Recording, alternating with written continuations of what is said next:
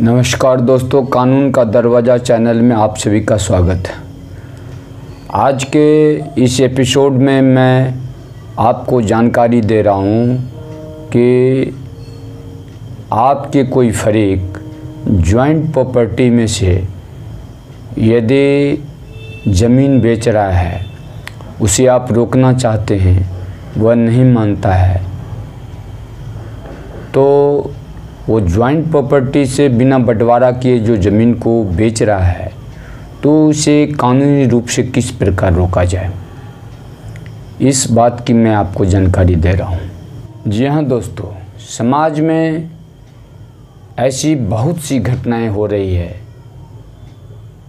इस तरह के ढेर सारे मुकदमे न्यायालय में आ रहे हैं कि समाज के दमंग व्यक्ति अपने कमज़ोर फरीक को ज़मीन बांट कर नहीं दे रहे हैं।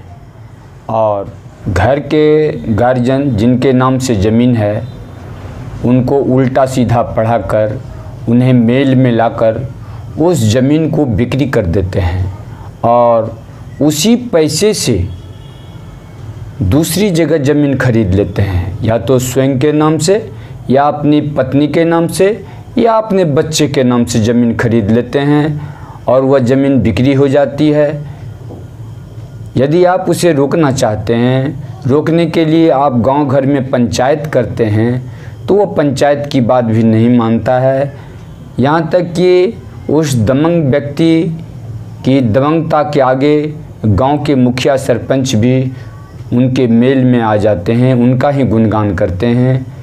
यदि आप उनके अगेंस्ट में थाना जाते हैं तो वह पुलिस को भी मिला लेता है पैसा के बल पर। और कमज़ोर व्यक्ति की आवाज़ को दाब दिया जाता है। और कभी कभी तो ऐसी भी घटनाएँ होती है कि वो दमंग व्यक्ति यदि उनकी माँ के नाम से ज़मीन है या पिता के नाम से ज़मीन है तो उन्हें बहला फुसला कर उल्टा सीधा पढ़ा कर वो अपने नाम से उस ज़मीन को लिखवाने के लिए वो उन्हें, जिनके नाम से ज़मीन है, उनको रजिस्ट्री कार्यालय ले ले आते हैं। और पीड़ित व्यक्ति उसका पीछा करते हुए रजिस्ट्री कार्यालय आते हैं, वहाँ रजिस्ट्रार को आवेदन देते हैं ज़मीन रजिस्ट्री रोकने के लिए।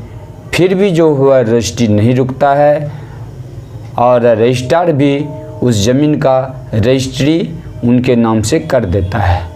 और पीड़ित व्यक्ति के पास रोने चिल्लाने के अलावे कोई शेष उपाय नहीं रह जाता है।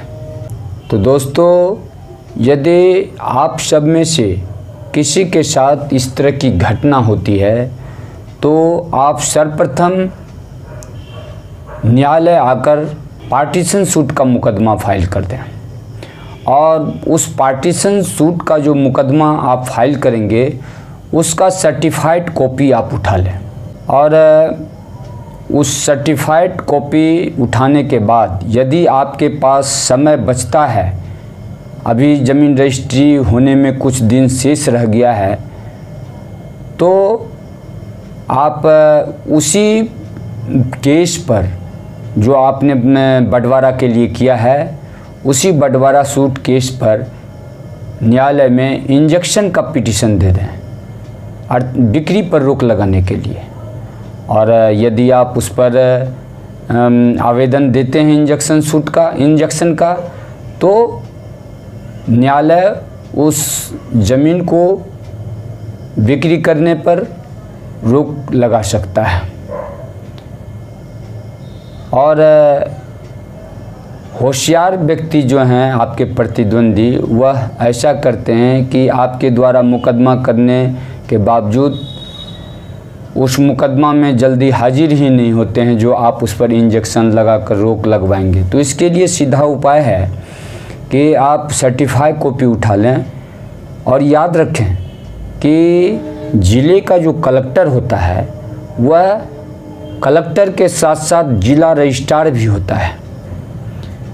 तो इसके लिए आपको एक अच्छा सा वकील रख लें और वो जो सर्टिफाई कॉपी है मुकदमा का, साथ ही कलेक्टर साहब को ज़मीन की बिक्री रोकने के लिए, रजिस्ट्री रोकने के लिए आप आवेदन देंगे और उस आवेदन के साथ वो केस का जो कॉपी है आपका, बंटवारा सूट का सर्टिफाइड कॉपी वो भी लगा करके दें। और इस तरह का आवेदन जब अपने अधिवक्ता के माध्यम से कलेक्टर के पास देंगे, अपनी बात को रखेंगे तो कलेक्टर साहब उस पर आदेश कर देंगे और कलेक्टर के आदेश से आपका रजिस्ट्री तुरंत रुक जाएगा।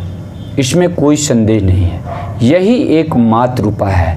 यदि आप इस सब कागजात के बगैर रजिस्ट्री रोकना चाहेंगे, आप रजिस्ट्रार को आवेदन आवेदन देंगे, रजिस्ट्री रोकने के लिए कहेंगे तो वह आपकी बात को इनकार कर जाएगा और रजिस्ट्री हो जाएगा। आपकी बात को वह नहीं मानेगा। इसका एक मात्र उपाय है कि जो मुकदमा आपने सिविल कोर्ट में किया है, उसका कॉपी लगा करके आप कलेक्टर को आवेदन दें और कलेक्टर के आवेदन पर आदेश करवा करके पुनः एक रजिस्ट्रार को आवेदन दें और साथ ही जो आपने कलेक्टर साहब का आदेश है वो और न्यायालय की जो कॉपी है केस की, वो लगा करके दें तो उस रजिस्ट्री पर रोक लग जाएगा। तो दोस्तों, इस तरह आप अपने स्वार्थी, फरीक, स्वार्थी भाई, चालाक व्यक्ति के ज़मीन बिक्री करने पर कानूनी तरीके से आप उस पर रोक लगा सकते हैं और इसमें आपको सफलता अवश्य मिलेगी। यही एक मात्र उपाय है। तो दोस्तों, आज के इस एपिसोड में बस इतना ही कहना चाहूँगा। फिर अगले वीडियो का इंतज़ार करें। और यदि आपने अब तक हमारे चैनल को सब्सक्राइब नहीं किया है तो इसे सब्सक्राइब अवश्य कर लें, बेल आइकन को प्रेस करें।